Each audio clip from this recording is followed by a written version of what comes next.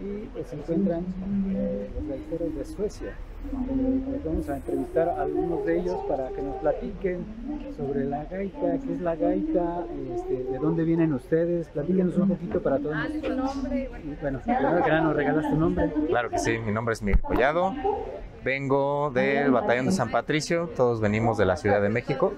Es una gaita con tradición militar escocesa y, e irlandesa también.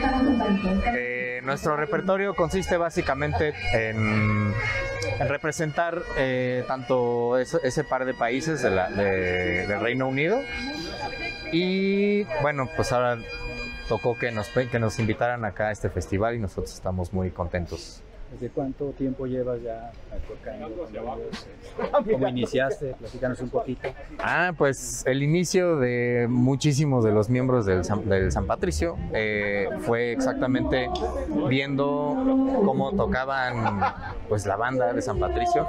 Curiosamente en el ex convento de Churubusco, que fue la última batalla donde se libró eh, en contra del ejército americano en 1848.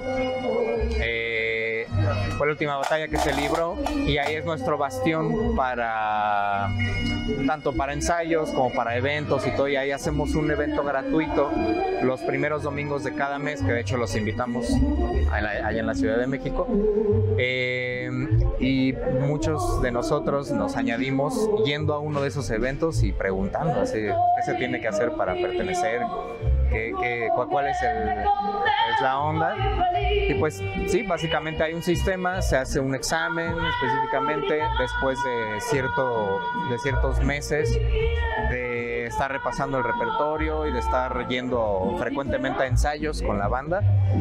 Eh, y se, se empieza desde cero con, unos, con un practicador y un- unas baquetas, en el caso de los tambores, que es normalmente las bandas de regimiento son banda de gaitas y tambores. Y las gaitas también es el mismo procedimiento. Para unirse a, a, pues, a estar con nosotros y todo, pues también es, es, algo muy, es algo muy bonito. Se los recomiendo. Y tener una apariencia europea. Jamás, eso no importa. Bueno, es que no parecen mexicanos, obviamente. Todos los, los que tocan. Pues es de todo. Más chaparritos, están altos, hay unos muy altos. Pues es- hay, hay de todo, hay miembros que están, viven en el Estado de México, hay otros que viven en Querétaro y vienen a la ciudad a ensayar, etcétera, etcétera. Y la, la apariencia realmente no, no, no importa. Nosotros como, digamos, como banda iniciadora de la iniciativa de, de bandas de gaitas en México, estamos en la ciudad. Hay otras bandas, una está en la ciudad de Querétaro y la otra también está en la ciudad de México y hay otra en la ciudad de Monterrey. Eh, es interesante porque hay, digamos, donde hubo gestas históricas eh, con, con los San Patricios, nacen bandas de gaitas.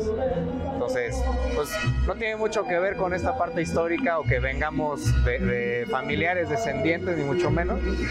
Somos más bien personas que nos, nos- nos es un interés y es un gusto y lo compartimos muy contentos con todas las personas. Dentro del festival, ¿dónde se van a presentar? Dentro del festival, pues nos vamos a presentar. eh, ayer nos presentamos en Uruapan, hoy nos presentamos aquí para, la, la- para los tapetes. Y mañana vamos a ir a. Este, bueno, mañana vamos a compartir también en este. Ay, ¿dónde. Bueno, vamos a estar también presentándonos aquí también Morelia. Vamos a poder ver el día de hoy. Sí, vamos a presentarnos hoy a las 11 de la mañana, de hecho ya en un ratito.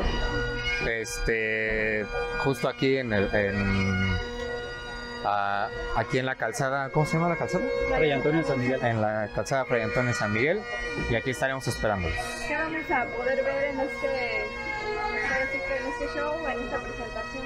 Pues en esta presentación pues vamos a, a presentar nuestro repertorio, unas piezas escocesas, otras Irlanda y otras piezas que son mexicanas, de folclore mexicano, pero con gaita escocesa.